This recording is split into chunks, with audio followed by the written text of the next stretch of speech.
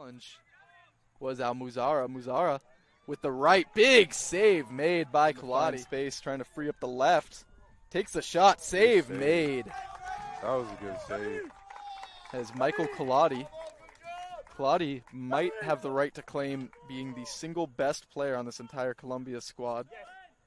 Collodi took over the starting duties back in 2019. Has been omnipresent for the Lions for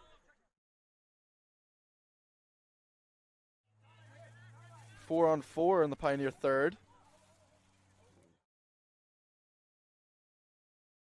Her to Gallardo. Gallardo has it on his right. Dribbling a little bit. Good tackle made by the Lions. They end that surge. Gallardo feeling dangerous here on Park Ave.